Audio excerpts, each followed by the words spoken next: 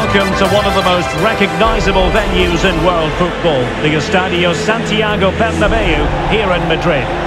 I'm Derek Ray in the commentary position, and I'm joined for analysis by Stuart Robson. And we're focusing on, technically speaking, one of the best leagues in the world. I'm talking, of course, about La Liga.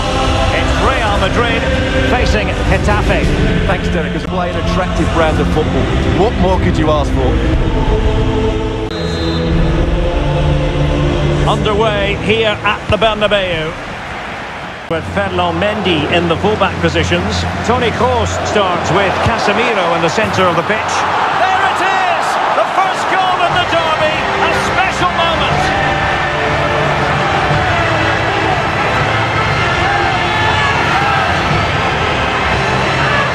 Well, this is a brilliant strike, as you can see. He hits it with so much power, the keeper had no chance. Fantastic finish.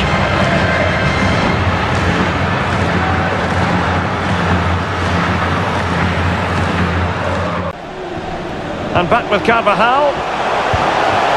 Casemiro. Well, somehow the goalkeeper got to it.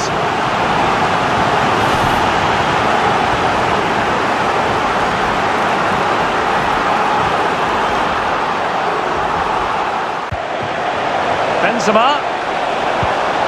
The ball with Luka Modric. And the first half is in the history books here at the Bernabeu.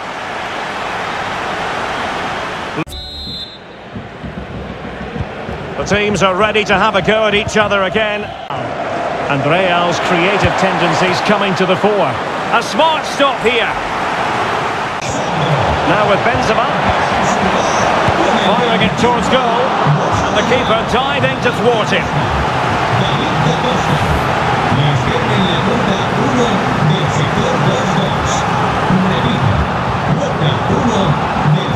This might be a dangerous game.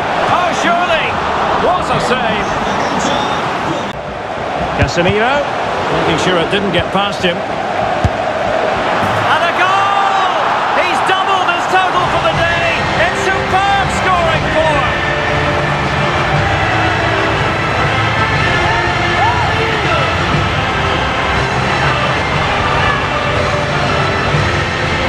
Well, let's take another look, and it's a very good goal. And they deserve it, you have to say. They've been excellent.